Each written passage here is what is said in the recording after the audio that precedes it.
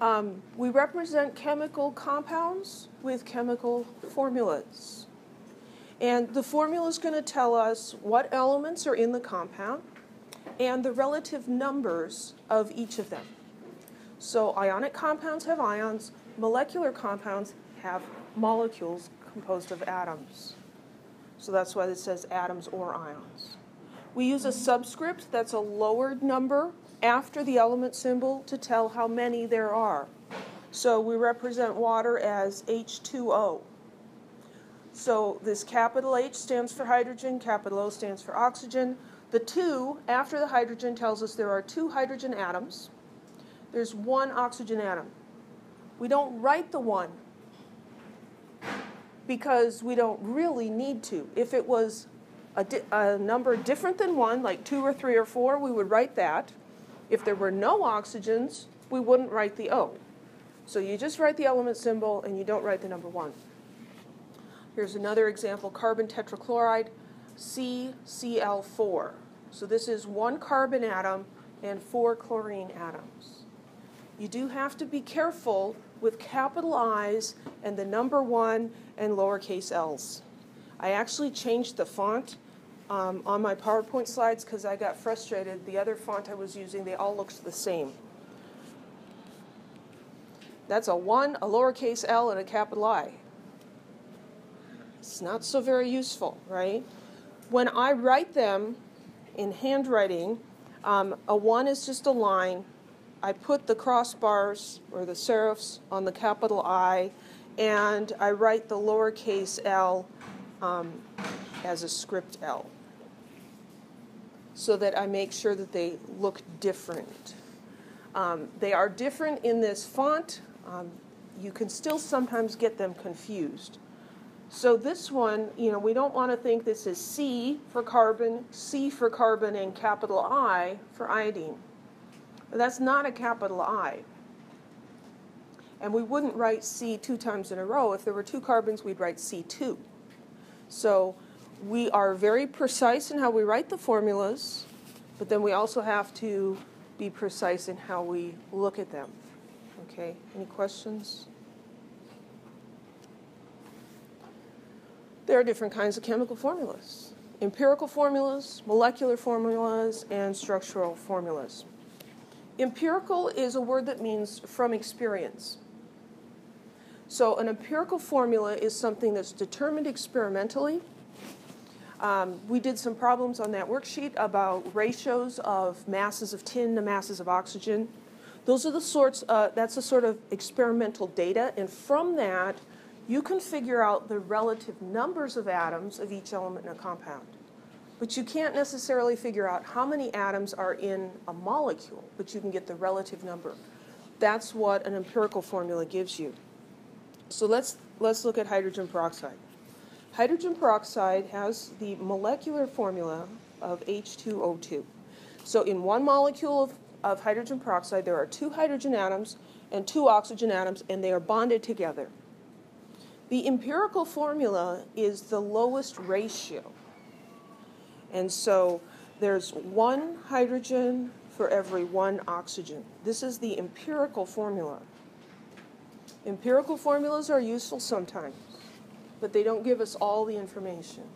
It's like taking a fraction and reducing it, right? If you had a fraction 2 over 2, your math teacher would say you should reduce that the simplest form of that fraction would be 1 over 1. So that's what we're doing here, is we're taking the lowest ratio.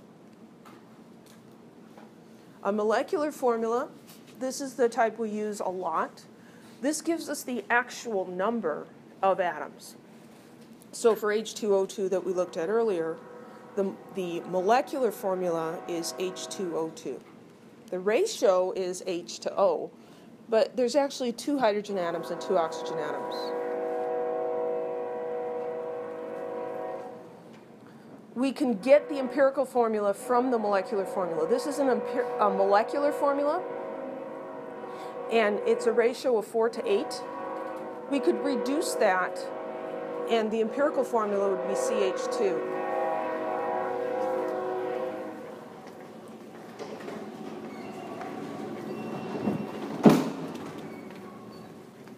Stupid trains. This is an, uh, a molecular formula. It could be reduced. The empirical formula would be BH3. Okay.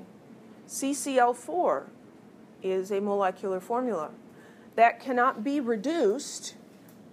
So the empirical formula and the molecular formula for that compound are the same. So if you're, if you're given a formula, if it is in the lowest ratio, you know it's an empirical formula. If it's not the lowest ratio possible, it's a molecular formula. But you can't always tell the difference just looking at the formula. Because if you get this one, you know that's an empirical formula, but you can't be sure if that's actually the molecular formula. So empirical is just the lowest ratio. Structural formula tells us how these things are actually connected. So we use lines to represent covalent bonds and shows how the things are connected. So we use a single line for a single bond, a double line for a double bond, and a triple line for a triple bond. Seems reasonable. So we've got these three different kinds of formulas. Why do we have them? Well, we use them in different circumstances depending on how much information we want to convey to another person or how much information we know or convenience because a structural formula gives us more information, but it can be large and complicated, and a molecular formula is much easier to write. So structural formula gives us the most information, empirical gives us the least. So let's write some empirical formulas for these compounds. We're given the molecular compound. So C5H12, what is the empirical formula for that? C5H12 you can't reduce 5 to 12. There's no common factors except 1, and dividing by 1 doesn't change it. So there the empirical formula is the same as the molecular formula. How about Hg2Cl2? HgCl. HgCl. So it was a ratio of 2 to 2. We divide both of them by 2. How about C2H4O2? CH2O. CH2O. So we take all the subscripts and divide by a common factor. Here it's 2. Questions? We also have molecular models.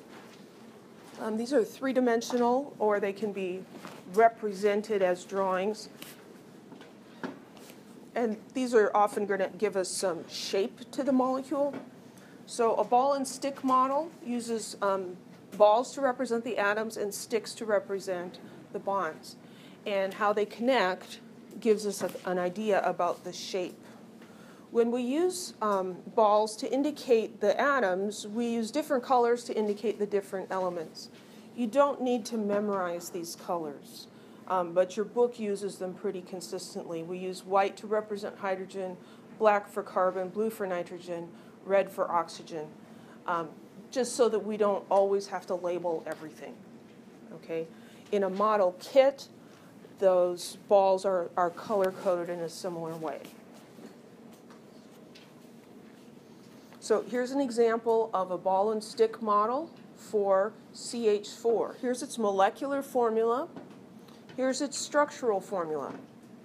This shows that the carbon is in the middle and the four hydrogens are connected to it.